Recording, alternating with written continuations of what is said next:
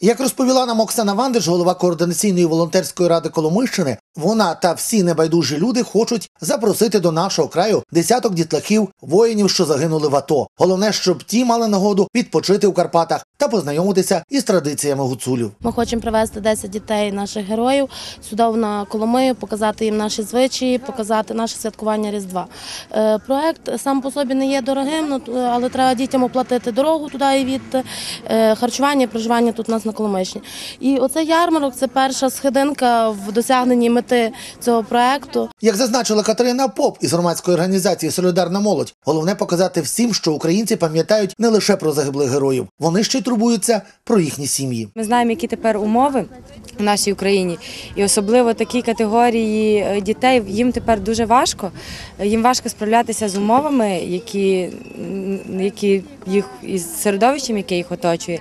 І ми такий, такою своєю благодійною ярмаркою, акцією хотіли показати, наскільки е, треба тепер приділяти увагу і тим хлопцям, які воюють на сході, і е, дітям загиблих бійців. І взагалі е, наскільки треба приділяти увагу і молоді цій проблематиці, і відповідно, щоб поцінувати роботу волонтерів, які стараються для, того, щоб забезпечити реабілітацію для наших бійців. Дві організаторки благодійного ярмарку кажуть, що ці роботи безцінні, адже їх своїми руками створювали воїни, які проходили реабілітацію. Однак кожна копійка це вклад у те, щоб десятеро хлопчаків та дівчаток, хоча б під час святкувань Різдва, відчули себе щасливими у нас на Прикарпатті. З Коломиї Богдан Малецький, Сергій Олексєєв, телерадіокомпанія Раї.